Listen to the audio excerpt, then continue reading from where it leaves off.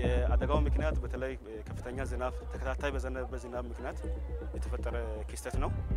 ስለዚህ ያ ስለሆነ አሁን አጠቃላይ የተጎዳውን ሰው አስከሬኑም ፍለጋ ላይ ስለሆነ ሶስት ቤተሰብ ነው የተጎዳው።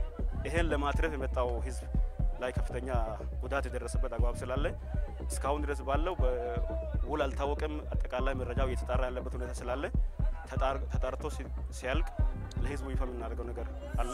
በጣም አሳዛኝ ክስተት ነው። የተጎዱ ሰዎች ወደ ሆስፒታል የማድረስ ጤና ጣቢያዎችን የማድረስ ስራ እየተሰራ ነው ያለው። ሌሎችን አጠቃላይ ሸራ፣ ሌሎች ጉዳዮችን ህዝቡን ለማጠለል ለመሰብሰብ እየተሰራ ያለበት ሁኔታ አለ።